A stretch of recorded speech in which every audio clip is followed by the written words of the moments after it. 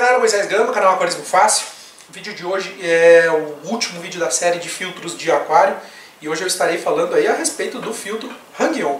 É um vídeo que eu estava devendo a vocês há muito tempo aí, mas agora com essa nova fase que o canal está entrando, estarei me dedicando um pouco mais, tendo um pouco mais de tempo para os vídeos, então decidi fazer o vídeo aí para vocês para fechar de vez essa série que começou lá dois anos atrás, mais ou menos, certo? Então vamos falar hoje a respeito do filtro Hang-On. Sempre que vem à cabeça a palavra Hang-On para os aquaristas, não aquaristas e também é, pseudo-aquaristas, né? já vem à cabeça de ah, Hang-On é muito fraquinho, ah, Hang-On não filtra nada, ah, Hang-On é uma porcaria, ah, Hang-On só serve para aquário pequeno. E quando na verdade não é bem assim que se que, que é a realidade a respeito de um filtro Hang-On. Tá? Na minha opinião, o Hang-On é sim um ótimo filtro. É um filtro que eu recomendo muito para quem está iniciando no aquarismo, principalmente. E, porém, obviamente, ele é limitado quanto à sua capacidade de filtragem. Tá? Lembrando a todos vocês, uh, não existe filtro ruim ou filtro bom no quesito filtragem.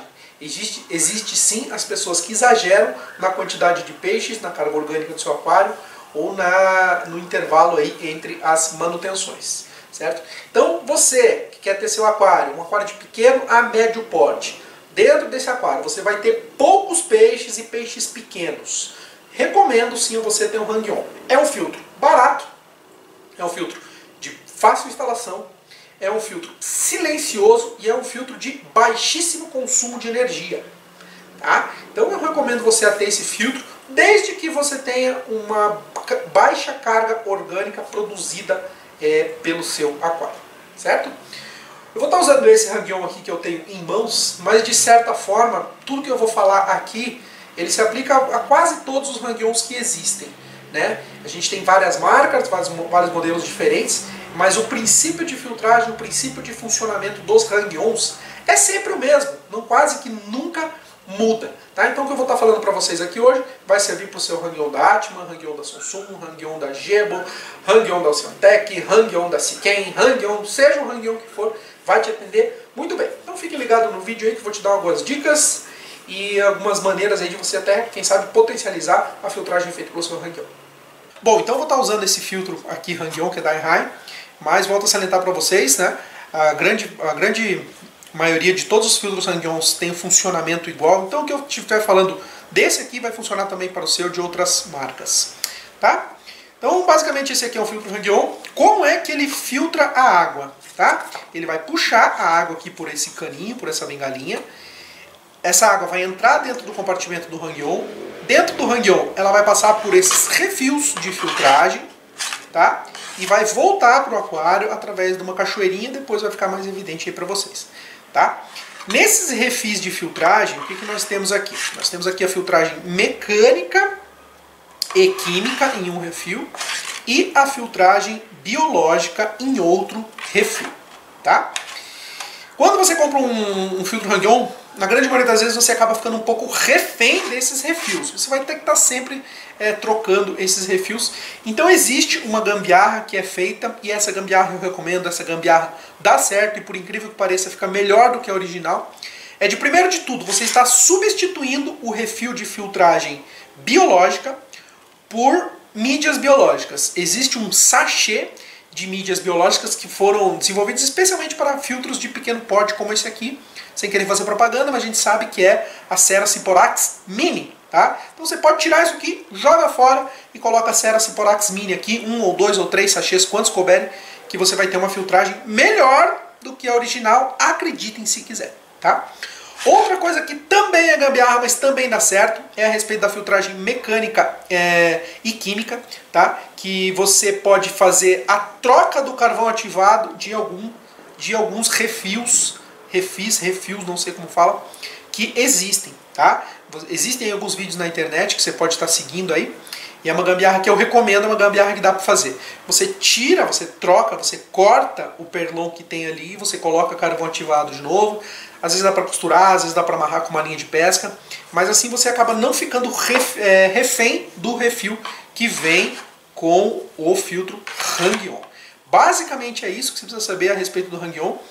E agora eu vou colocar eles ali na prática. Eu vou colocar ele no aquário na prática para vocês verem como é o funcionamento desse filtro aqui, que é um filtro que eu acho muito bom e recomendo para quem está iniciando no aquarismo. Uma coisa que tem que salientar e deixar bem claro para vocês é que se o, se o aquário de vocês tiver uma trava longitudinal aqui, o que vai acontecer? Você não vai conseguir fazer o encaixe do hang-on. Tá? Então sempre que você for optar por um hang-on, veja antes se o seu aquário não tem travas longitudinais, pelo menos no vidro traseiro, que será onde você vai pendurar o seu hang-on e vai deixar ele ali funcionando certinho. Agora com o hang-on no aquário eu vou mostrar para vocês o funcionamento dele, que é bem simples, bem fácil, bem rápido, bem básico. Pois bem, já com o seu filtro hang-on no lugar, uma das únicas coisas que você tem que fazer a respeito do seu hang-on, quando é a primeira vez que você coloca ele pendurado no seu aquário, você vai ter que dar um starter nesse hang-on. Se você simplesmente ligar esse hang-on na tomada nesse momento, o que, que vai acontecer? A bombinha que ele tem vai girar a seco e vai acabar queimando, tá? Porque a própria água acaba refrigerando a bomba para que ela não queime, tá? Então o que, que você vai ter que fazer? Pega um canequinho qualquer, tá? e joga a água dentro do seu hang-on até que você veja a água caindo aqui pela cachoeirinha. Tá? Ó, vocês podem ver que já caiu aqui a água. Vou jogar mais um pouquinho só para ficar mais evidente. Ó, prestem bem atenção aqui.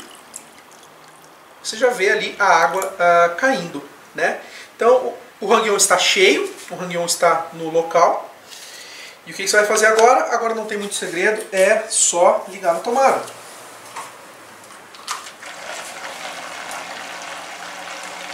Reparem que no início ele faz um barulho, ele faz bastante barulho, tá? Por quê? Porque ele está retirando todo o ar que tem aqui na tubulação, aqui no sistema, até que o starter dele esteja completo. Ó, já começou a vazar água, o barulho já está diminuindo e o barulho sumiu. Simples assim. Ele já está puxando a água, passando pela filtragem mecânica, passando pela filtragem química, passando pela filtragem biológica. Essa queda de tensão superficial já está oxigenando a água, ou seja, nós temos um filtro simples, prático, funcional e que dá conta de todo o recado. Certo? Simples e fácil assim. Tem um pequeno porém também, que é quando acaba a luz. Tá? Vamos simular uma queda de energia. Ok, acabou a energia, eu desliguei o filtro aqui. A água que está dentro do seu hang-on, ela não vai, ela não vai sumir, ela não vai desaparecer, tá? Ela vai permanecer aqui dentro do seu hang-on. Então, se porventura, ah, você não está em casa, acabou a luz e voltou, quando voltar a luz, eu já acabei de religar aqui, ele volta a funcionar sem problema nenhum. Você não precisa esquentar a cabeça com isso. Tá? É um filtro bem seguro em virtude disso. Manutenção e limpeza do hang-on. Tá? Uh, manutenção e limpeza do hang-on é basicamente fazer a troca dos refis, que eu já falei para vocês, né? Que você tem a gambiarrinha lá que dá certo, que você pode fazer. E lá de muito e vez em quando você tem que fazer a limpeza da bomba, do impeller da bomba que está lá. Mas isso é muito difícil de fazer a cada seis meses, um ano. Aí você tem que dar uma desmontada no seu filtro. E isso daí vai depender de filtro para filtro. Mas é bom sim dar uma limpada lá no eixinho da bomba para que ela não trabalhe sobrecarregada e não, acabe não vindo a queimar aí a sua bomba, certo? Bom, no demais é isso. Se algum dia alguém falar para você que filtro Hang-On não presta, falar que filtro Hang-On não dá conta do recado, pode ter certeza que essa pessoa não tem conhecimento nenhum de aquarismo, porque ela está sobrecarregando um filtro que não foi feito para uma carga orgânica muito grande. Você pode ter um aquário de mil litros com Hang-On? Pode! Desde que dentro desse aquário de mil litros você tenha uma quantidade muito pequena de peixes, certo? Então, encerrando aí essa série de filtros de aquário, cabe a você decidir qual é o melhor filtro para o seu aquário. Cada aquário tem sua necessidade, cada aquário tem, sua, é, tem suas condições aí de filtragem. Vou ficando por aqui, Moisés Gama, canal Aquarismo Fácil, e tchau, tchau.